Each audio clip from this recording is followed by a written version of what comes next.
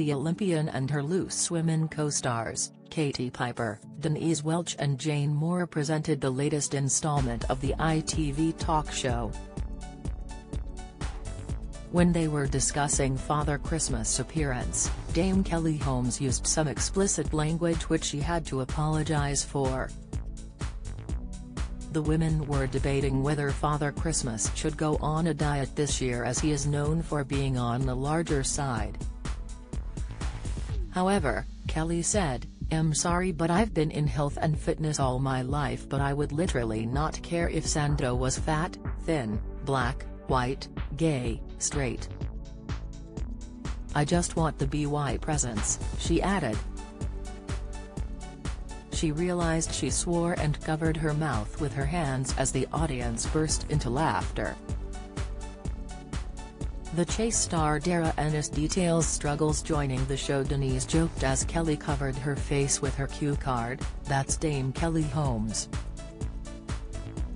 A worried Kelly added, oh that's going to be all over the papers now, I just want presents, give me the presents. Katie said, don't worry, you are going to get your present. We have got your present.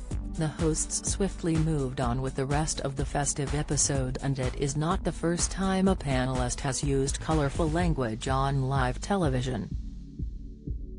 The Olympic legend joined Loose Women in September and told The Sun at the time she hoped to bring her energy to the show. ITV viewers were pleased to see Kelly on Wednesday, despite her blunder.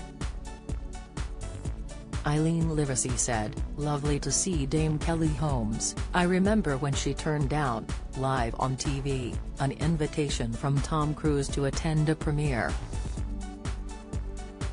She said she had nothing to wear to a premiere.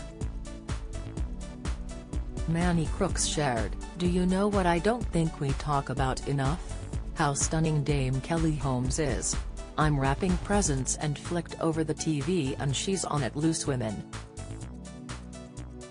I adore her and her story and how wonderful she is and my goodness she's beautiful. Sick.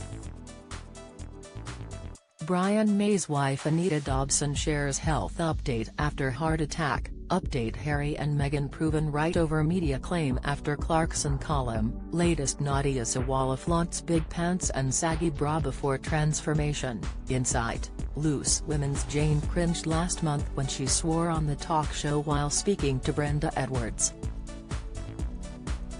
Jane said a while talking about a unique use for hemorrhoid cream. She said, a makeup AE told me, before correcting herself to use the word, makeup artist. Jane quipped following the error, that's what is known as a Freudian slip.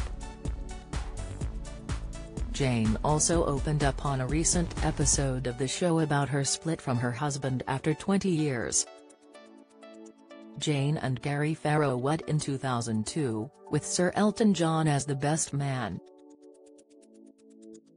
The journalist described Gary as her best friend during the heartbreaking update on December 7. Loose Women airs on weekdays at 12. 30 p.m. on ITV.